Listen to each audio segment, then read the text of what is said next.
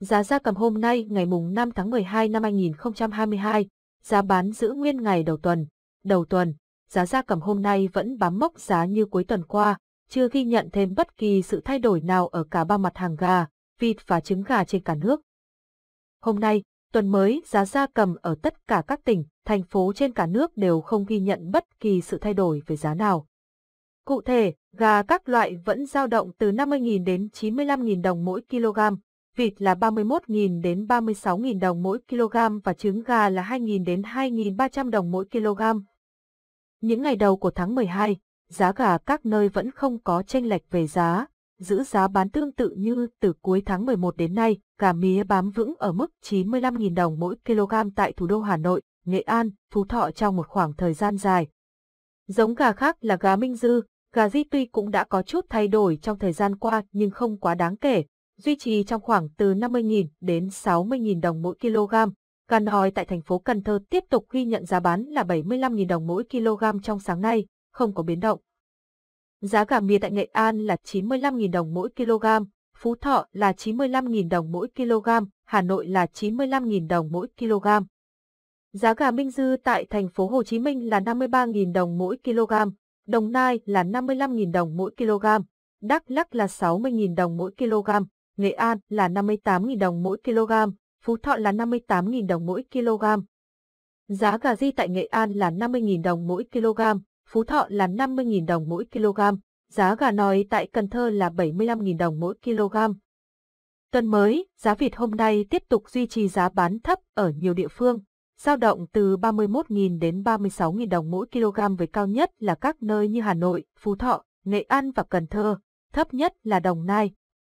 Nhìn chung đã vào giai đoạn kết năm nhưng giá vịt vẫn khá ảm đạm, giá không cao, không biến động lớn, chênh lệch giữa hai miền Nam, Bắc cũng không đáng kể. Giá vịt tại thành phố Hồ Chí Minh là 32.000 đồng mỗi kg, Đồng Nai là 31.000 đồng mỗi kg, Cần Thơ là 36.000 đồng mỗi kg, Đắk Lắk là 35.000 đồng mỗi kg, Nghệ An là 36.000 đồng mỗi kg, Phú Thọ là 36.000 đồng mỗi kg, Hà Nội là 30. 6.000 đồng mỗi kg. Thị trường giá trứng gà hôm nay cũng không nằm ngoài dự đoán trước đó, tiếp tục duy trì giá bán từ 2.000 đến 2.300 đồng mỗi kg. Giá trứng gà đỏ có giá trong khoảng 2.000 đến 2.200 đồng mỗi kg với Bình Định là nơi có giá cao nhất, trứng gà trắng có khoảng giá rộng hơn, từ 2.000 đến 2.300 đồng mỗi kg với Hà Nam là địa phương giữ giá trứng cao nhất, hiệu quả bất ngờ khi dùng giấy báo cũ úm gà, vịt giống. Chia sẻ kinh nghiệm chăn nuôi gia cầm của gia đình, ông Phạm Văn Thanh, chủ trại nuôi gà ở Thái Nguyên cho biết, nhiều năm nay ông và một số hộ ở cùng địa phương thường mua giấy báo cũ với giá rẻ về để úm gà, vịt. Theo ông Thanh, khi gà, vịt mới mua về ngày đầu, gia đình ông thường thuê nhân công giải giấy bão cũ kín nền chuồng để vừa giữ ấm chân cho vật nuôi non vừa giúp các con giống không may bị thương, hở bụng tránh bị vỏ chấu khô găm vào dễ bị phiên, bệnh chết, hao hụt. Trước đây chúng tôi hay dùng vỏ chấu lót nền uống con giống nhưng qua thời gian dùng thấy vật nuôi bị hao hụt nhiều hơn. Hơn nữa, khi cho gà ăn, thức ăn sẽ rơi vãi ra chấu nhiều, để lâu ngày cám sẽ mốc, vật nuôi lớn lên bới ăn hay bị bệnh.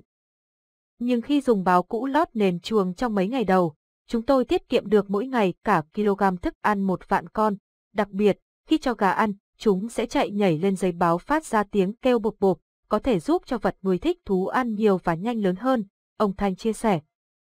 Cũng theo ông Thanh, hiện tại nhiều trại chăn nuôi ở miền Bắc vẫn mua giấy báo cũ về làm lót nền uống gà, vì trong 3 đến 4 ngày đầu.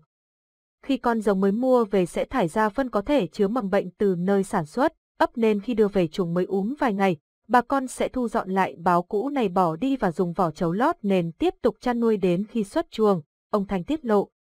Dù cách làm này khá hiệu quả nhưng theo nhiều chủ trang trại, việc giải và thu dọn vệ sinh sau khi lót nền xong mất khá nhiều thời gian và nhân công.